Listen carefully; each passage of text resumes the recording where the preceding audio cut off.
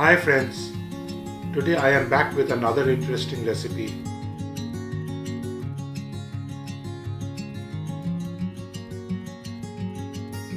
Prawn cutlet. So here I have 12 pieces of jumbo sized prawns and we are cleaning them by chopping off the heads. We are then slicing them from the back and opening them like a book. Hammering them with the back and side of the knife and making them flat.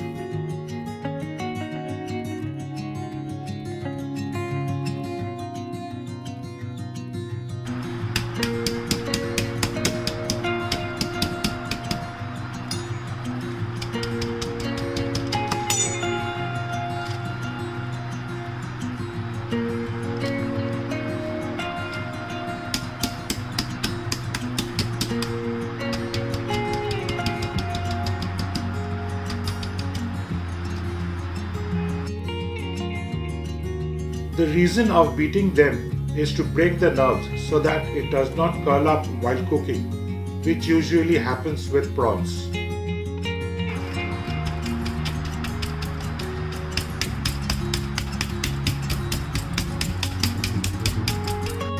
Flattening of the prawns is done. We will now put some fresh lime juice and salt in it to leave it aside for 10 to 15 minutes. This will take away the pungent smell from the prawns if any.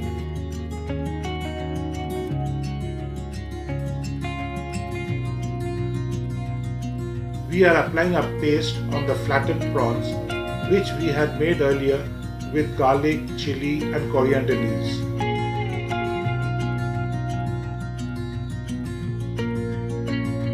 Now let it marinate for at least 2 hours. Now I am going to crumb them all and give it a shake. For that I have taken breadcrumbs and 3 eggs whisked properly.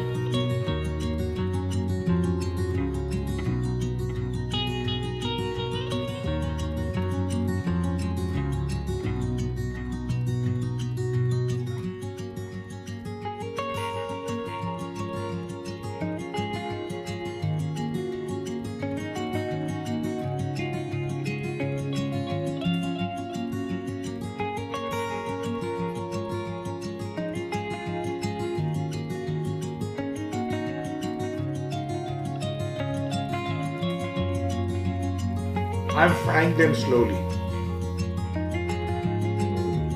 I am Sumit and whenever I prepare a new dish, I share my fun cook recipe with you in my YouTube channel Stories by Sumit.